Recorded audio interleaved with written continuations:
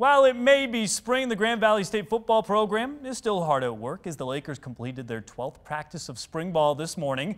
Of course, things look a little bit different at Lubbers Stadium with first-year head coach Scott Wooster leading the way now. Today, after practice 12, Wooster preached the one-of-one mentality. If a call doesn't go your way, embrace it and learn from it. He wants the Lakers to be tougher than football and says that will lead to success. Championship teams, I think the best they embrace those uncomfortable moments. Um, they they love being in those clutch situations, being in front of 15,000 out here. You know, obviously against the team up north or in those those those critical moments, and be tougher than those moments. Just the the one of one mentality to get to that back to that championship level and um, change a couple of these numbers up here. Uh, just be tougher than the game of football. Be tougher than those moments. Be tougher than those situations.